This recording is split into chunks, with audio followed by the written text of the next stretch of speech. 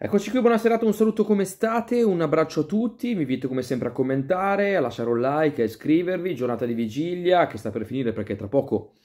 insomma sarà già giornata di partita, volge al termine questo lunedì con un'ottima notizia per quanto riguarda il Milan perché ha lavorato in gruppo Rafa Leao, quindi Leao è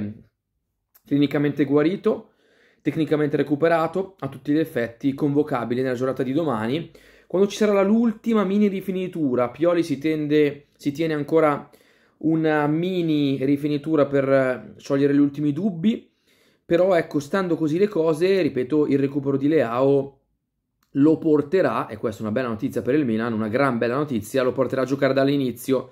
Quindi il Milan rispetto alla gara di andata acquisisce un potenziale offensivo decisamente superiore e recupera il suo giocatore più importante il top player del Milan, appunto Rafa Leao, eh, che dovrebbe partire dall'inizio appunto con Salemacher sulla destra, Brian Diaz al centro a supporto di Giroud, che non è ancora al top, ha questo problema al tendine con cui convive ormai da diverso tempo. Oggi c'è stato un lungo colloquio tra Pioli e Orighi, non credo sinceramente possa essere però la carta sorpresa dall'inizio. Senza Bennasser è ritornato in gruppo anche Krunic, eh, con a suo fianco Tonali, dietro Hernandez Calabria, al centro con Tomori ci sarà Ciao che rimpiazza Kier, in panchina Calulu, in porta ovviamente Megnan. Una vigilia quindi con un completo, possiamo dire pressoché completo recupero di Rafael Leao, che tra l'altro sui social ha scatenato